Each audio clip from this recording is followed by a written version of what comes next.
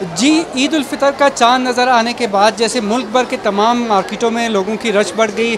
Same اسی طرح کوئٹہ شہر کے جو ہے مارکیٹوں میں بھی لوگوں کی بڑی تعداد جو ہے خریداری کرنے آئی ہے اور خریداری کا یہ آخری سلسلہ ہے کیونکہ صبح جو ہے عید الفطر ہے تو لوگوں کی کوشش یہی ہے کہ آج رات کو اپنی تمام شاپنگ کی صورتحال جو ہے، جو شاپنگ ہے، اس کو مکمل کر لیں۔ میں اس وقت کوئٹہ شہر کے جو ہے سب سے بڑے مارکیٹ میں موجود ہوں، جو ملینی مال کے نام سے جانا جاتا ہے۔ یہاں پر بھی اس وقت لوگوں کی بہت بڑی تعداد موجود ہے، جو مختلف جو ہے چیزوں کی شاپنگ کر رہے ہیں۔ خصوصی طور پر جو ہے بچے اور خواتین جو ہے بڑی تعداد میں یہاں پر موجود ہے، کیونکہ بچے اور خواتین کا جو ہے شاپنگ کا جو سلسلہ ہے، وہ چاند رات کے آخری علیہ صبح تک جو ہے جاری رہتا ہے۔ اس وقت بھی بچوں کی بہت بڑی تعداد جو ہے جو جوتے خریدنے میں مصروف ہے۔ اور ساتھ ساتھ جو ہے، خواتین ہیں، وہ اپنے ہاتھوں پر کون مہندی اور ساتھ ساتھ میں جو ہے، رنگ برنگی چوڑیاں بھی خرید رہی ہیں تاکہ جو میچنگ ڈریس ہیں، اس کے ساتھ جو ہے، وہ ان کی چیزیں میچ کر سکتے۔ اس وقت جو یہاں پر شہری بھی موجود ہے، شاپنگ کر رہے ہیں۔ آئی مزید ان سے جانتے ہیں کہ کیا صورتحال ہے وہ شاپنگ کر رہے ہیں اور صبح عید ہے تو کیا کہنا چاہتے ہیں؟ جی یہ آپ کا نام؟ من الشیطان جی بسم اللہ۔ میرا نام طائر آغا ہے۔ کہ آپ عید کی شاپنگ کرنے آئے ہیں صبح عید ہے تو کیا کہنا چاہتے ہیں؟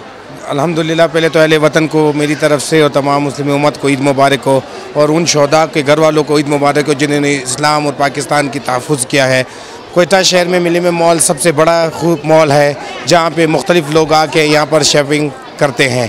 اور اس کے بعد جو ہے ماحول اور حالات بھی بہت بہترین ہے فیصل علی ایف سی بلوچستان کا ہم بڑا شکریہ ادا کرتے ہیں کہ انہوں نے ماحول اور حالات کو کنٹرول رکھا ہے۔ آپ نے اس وقت شاپنگ کی ہے کیا خریداری کی ہے کیا کرنا والے؟ ہیں دراصل بات یہ کچھ مہنگائی زیادہ ہوئی ہے۔ جو جوتا پہلے دو ہزار کا تھا وہ جوتا پینتیس سو کا ہے۔ جو چیز پرچیزنگ ہم کرتے تھے دس ہزار بارہ ہزار کی وہ چیزیں بیس ہزار تک پہنچ گئی ہے۔ اب ہم ہمارے بچوں کے ساتھ تو ہماری کوشش ہے کہ جوتے وغیرہ پرچیز کریں۔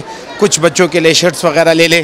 تو باقی ان شاء اللہ تعالیٰ تمام میری طرف سے پھر اہل وطن کو عید مبارک ہو اور اللہ پاک سب کے تراوی و روزے قبول جی ناظرین آپ نے دیکھا کہ شہریوں کا یہی کہنا تھا کہ عید کی جو ہے جو ہے چاند رات ہے اور خریداری کا سلسلہ جو ہے اپنے عروج پر موجود ہے مگر ان کا یہی ایک شکوہ یا نظر آیا کہ یہاں پر جو اشیاء کی قیمتیں ہیں وہ زیادہ کافی زیادہ ہو چکی ہیں۔ پہلے جو جوتے جو ہے دو ہزار روپے کے یہاں پر ملتے تھے تو آج کل وہ جوتے پینتیس سو چار ہزار روپے تک جا کے پہنچی ہیں۔